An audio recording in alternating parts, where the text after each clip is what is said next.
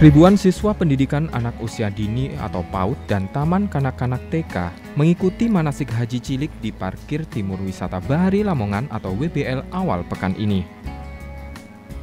Mengenakan pakaian ikhram, para peserta yang telah dibagi dalam beberapa kelompok antusias melaksanakan rangkaian ibadah haji sesuai dengan arahan dari pemandu manasik mulai dari ikhram, wukuf, tawaf hingga sa'i. Direktur Utama WBL Ahmad Salim mengatakan, kegiatan manasik haji masal merupakan program edukasi terbaru yang diselenggarakan oleh WBL untuk siswa TK dan PAUD.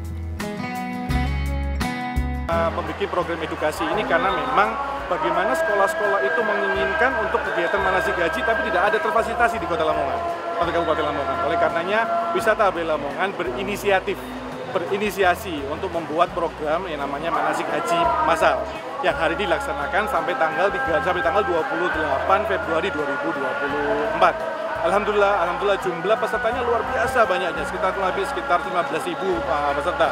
Tentunya itu banyak dari Lamongan sendiri. Tentu nanti ke depan uh, untuk terkait masalah uh, haji uh, manasik haji itu nanti akan menjadi program atau fun game reguler yang ada di dalam wisata Bayi Lamongan.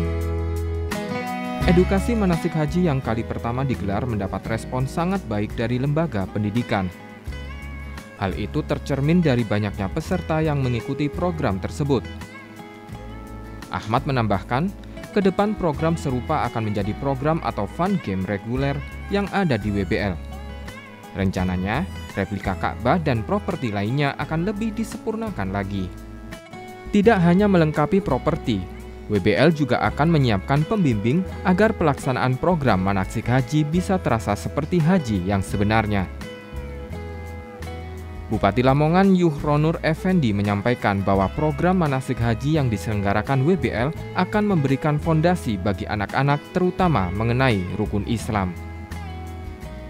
Mana di tempat wisata ini juga bisa menumbuhkan karakter eh, apa kepribadian dan sebagainya dan itu ditumbuhkan dengan manasik haji dan e, beberapa kegiatan e, apa religi yang lainnya ya dan ini kita harapkan e, sesuatu yang baru selain bisa menunjang e, kehadiran wisatawan juga bisa mempunyai value yang lain untuk kegiatan pendidikan karakter bagi anak.